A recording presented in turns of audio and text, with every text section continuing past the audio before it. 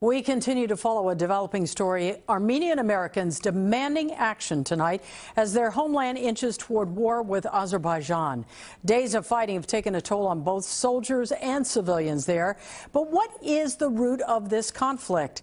NBC4's Gordon Tokumatsu spoke with consul generals from both sides today.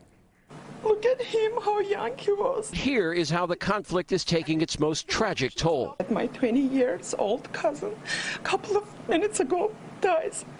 It's horrible. Between round the clock shifts reporting on the conflict for local Armenian TV, Armine Amirian has to pull herself together. She has family in the disputed territory. Like millions of ethnic Armenians, she still feels the sting of genocide and sees it happening again. He was so young. He had like so many dreams to come true. What do we want? Peace! When do we want it? Now! Just this afternoon, pro Armenian supporters gathered outside the LA Unified School District, capping several days of passionate protests. California is home to the largest Armenian American population in the United States and many are watching developments in a region they called Artsakh very closely.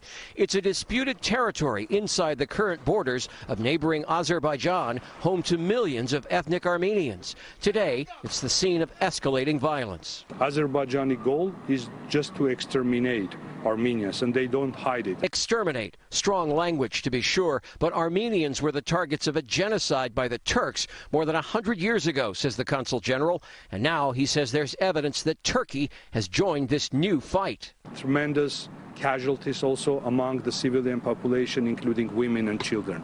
Turkey is not involved in this conflict.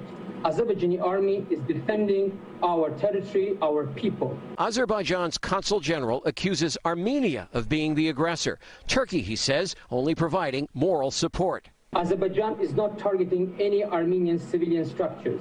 Our targets are only military. Innocent civilians are dying. They want the war to stop it as soon as possible. In Glendale, Gordon Tokumatsu, NBC4 News.